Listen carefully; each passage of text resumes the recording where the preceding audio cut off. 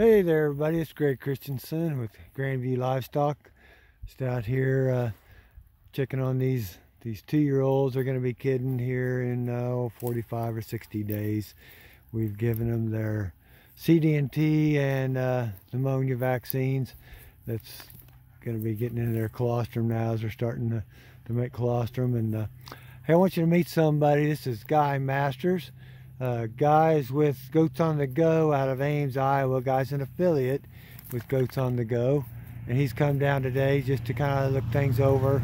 Um, he's getting started with Goats on the Go this year. Um, so, Guy, what, what exactly is Goats on the Go and well, what is it? What do you do?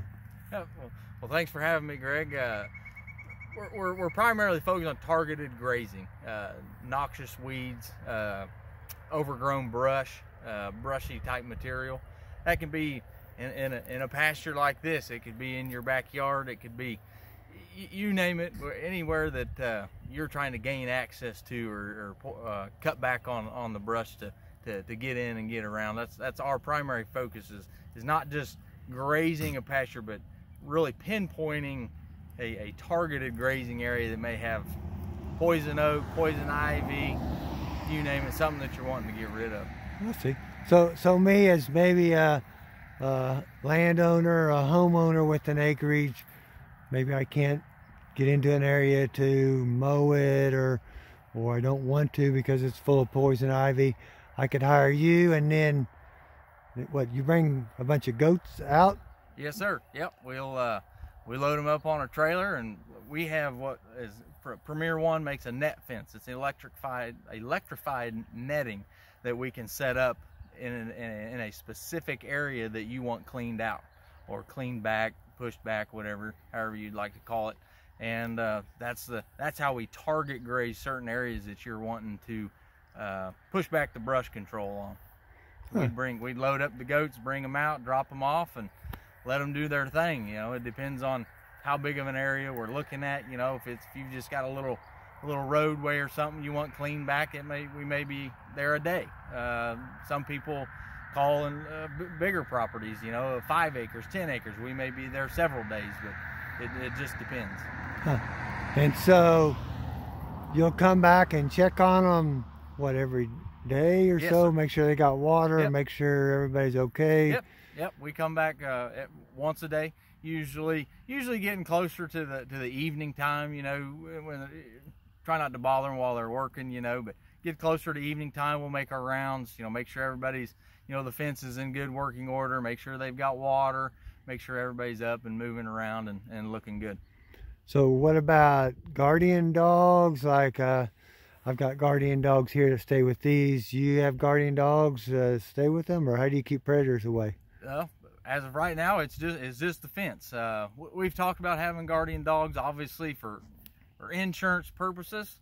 You know, some folks uh, uh, cost wise, it's not cost effective. Now, uh, so far we haven't had any issues with guardian dogs, or excuse me, with predators with the electric fence that we use. But that's not to say that that right. couldn't happen in the future. And and and guardian dogs like you have um, maybe of better use, you know, down the road. But currently, uh, we, we do not use guarding dogs. Uh, some folks will throw in maybe a llama or two or maybe a donkey uh, from time to time, but uh, for the most part, we don't use guardian dogs. The, the electric fence does its job.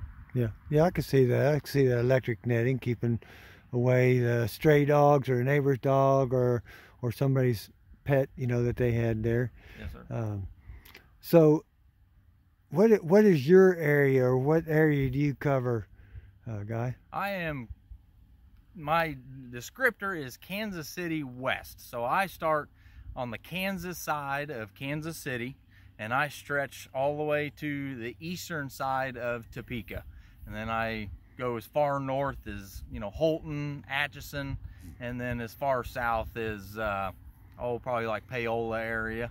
That, that's that's kind of my territory. And we also do have a, another neighboring affiliate that covers the Missouri side. So if you're in Missouri, we've got that covered as well. And so there's probably other affiliates all over the United States, maybe. Yes, sir. Yep, there's affiliates. I believe we are now in 12 different states, and that stretches from California all the way to the East Coast in Vermont. Uh, so we've all the way north to Minnesota, Wisconsin, south to Texas. So if, if you're looking for a, a, a sustainable vegetation management, Goats on the Go's got you covered. Goats on the Go. Well, so how would we get a hold of you or the company or, what would we do if we want to look into this more? Yep, you can go on to our website, www.goatsonthego.com. You click on Find a Herd. You can either look us up on the uh, map or there is a uh, list of names and territories that people cover. You click on the, the farm name or the person's name in the area that you're located.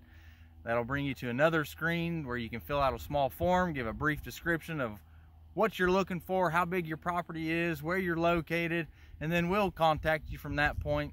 Uh, we'll set up a, an on-site visit, what we like to call it, and uh, come sit down with you, you know, get a good feel for what it is that you're wanting to accomplish and make sure that goats are even even an option, you know, even the route that you really want to take. Goats aren't always the answer, but they, they, they do take um, uh, the majority of people's issues and, and, and resolve them. But uh, that's step one. We'll do a site visit. We'll make sure that we're a good fit, make sure that we can help you with your issues, and then we move forward. Yeah, that's pretty interesting. Goats on the go.